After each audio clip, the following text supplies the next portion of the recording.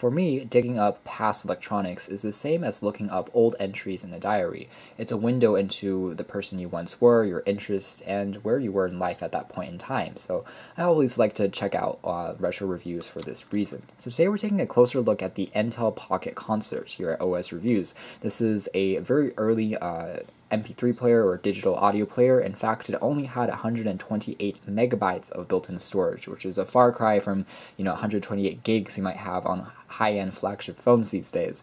Uh, it's made out of aluminum. It's fairly chunky, as you can see here, the same size I would say as a uh, as almost a small uh, phone, maybe with a 2.8 inch screen. So we've definitely come a long way in terms of how tech has uh, become smaller uh, and also more efficient. Anyways, when this device was first released, it sold for about 100 bucks, so it wasn't too expensive in the world of MP3 players compared to things like the iPod, but it was also much more restrictive in terms of what you could do.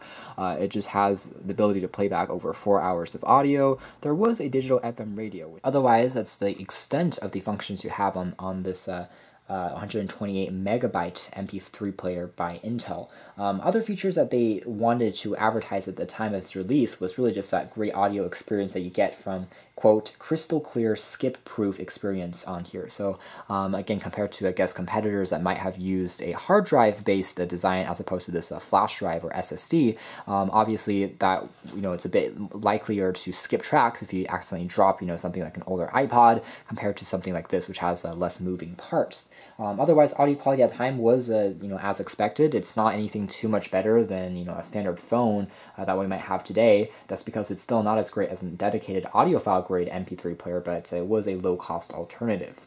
Anyways, formats that it supported included WMA and of course MP3, and again, it had that monochromatic black and white screen. So that's essentially it uh, as far as the design is concerned. Again, just this black and white display, easy play pause key, oversized controls for skip tracks, as well as a dedicated power switches on the sides, um, data sync cable on the sides, uh, as well as volume controls in the very top. So a pretty standard layout and intuitive uh, controls. But again, a lot, a lot, a lot larger than what we see from just a regular MP3 player by today's standards. It's uh, almost as big as a smartphone, which is you know really just an indicator of how far we've gone as far as a smartphone and technology in general.